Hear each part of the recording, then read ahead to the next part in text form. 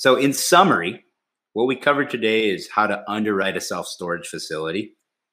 First, we looked at the traffic counts. We wanted to make sure that they were high enough to support the demand. We looked at the demand drivers and demographics. You know, what was the median income? What was the population?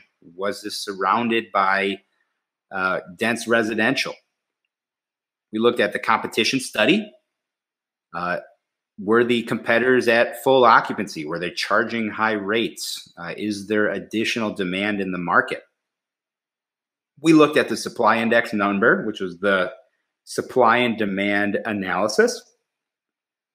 And we got to that by dividing the net rentable square feet by the population in that trade area.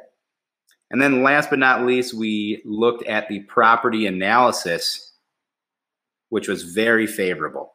Um, and we looked at the numbers and the condition and the value add opportunities. So, if you uh, would like to learn more about self storage, feel free to hit me up, the Storage Stud.